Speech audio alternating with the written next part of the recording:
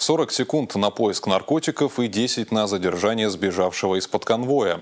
В Сургуте определили лучших кинологов окружного управления Федеральной службы исполнения наказаний. Соревновались опытные в своем деле наставники и их собаки. Как отметили сами специалисты, служебные псы для них не только верные напарники, но и хорошие друзья.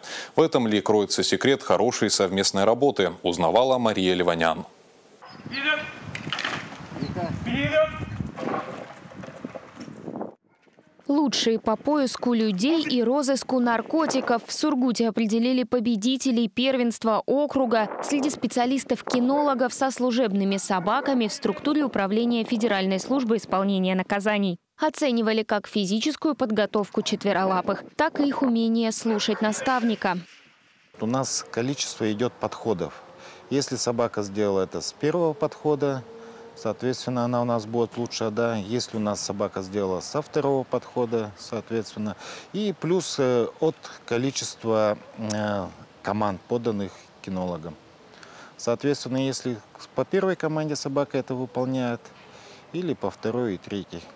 Главное в работе кинолога – доверительные отношения с собакой. Если они выстроены, то проблем с выполнением команды с первого раза не возникнет. Бывает, что к инструктору пес попадает уже взрослым. Так случилось с Надимом Сагитовым и Гансом. Вместе они в Нижневартовской колонии номер 15 работают всего около двух с половиной лет. Это немного, потому как чаще всего кинологи воспитывают собаку щенячьего возраста и до пенсии. Однако небольшой срок совместной службы не помешал им стать победителями в разыскном профиле. Бывший кинолог ушел, получается, на пенсию, так как передал мне его. И далее я уже с ним в течение года, наверное, налаживал где-то контакт, чтобы он полностью начал мне доверять, и мы с ним начали вполне хорошо работать. Каждый пес индивидуальный по характеру, и каждому нужен свой подход. Потому что так или иначе, если собака не будет работать, то не будет результата. В работу Ганса входит поиск людей в автомобиле в случае предполагаемого побега и даже задержания. У служебных собак есть и другой профиль. Отдельных псов тренируют отыскивать наркотики.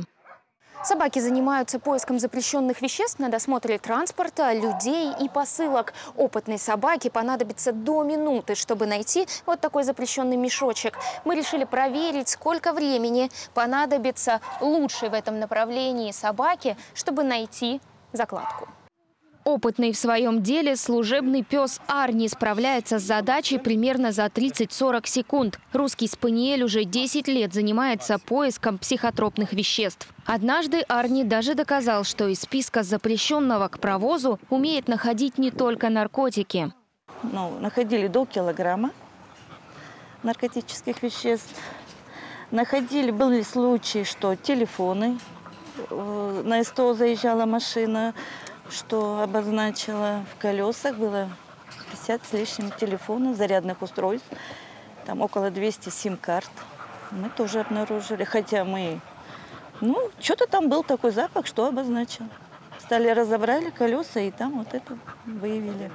10 лет для служебной собаки – большой возраст. Совсем скоро Арни предстоит уйти на заслуженный отдых. Как отметила его инструктор да, Татьяна, на пенсию она собирается вместе с ну, питомцем. Нередко кинологи собак, отдавших свои молодые годы службе, забирают к себе домой. Ведь это уже друг, которого просто так не бросишь. Ежегодно на пенсию выходят до 10 животных.